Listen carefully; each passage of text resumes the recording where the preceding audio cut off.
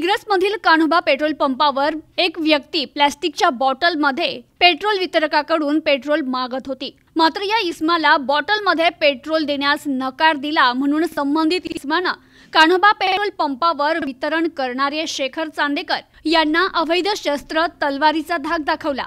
तलवार पाहताच वितरक मात्र चांगलाच भयभीत झाला आणि त्याने थेट पोलीस स्टेशन गाठत रात्रीच्या सुमारास दिग्रस पोलीस स्टेशन येथे फिर्याद दिली आहे. तर ही संबंधित घटना सीसीटीव्ही कॅमेऱ्यातही कैद झाली आहे. दिग्रस शहरात चोऱ्या अवैध धंदे अवैध शस्त्र यांचा सर्रास वापर होत असल्याच्या घटना दिवसेंदिवस वाढत असून यामुळे दहशतीचं वातावरण या ठिकाणी निर्माण झालंय. कानोबा पेट्रोल पंपावर काम करतो. चौदा तारखेला साडे नऊ दहाच्या दरम्यान एक ॲटोवाला डबकीत ॲटो डबकीत पेट्रोल मागत होता.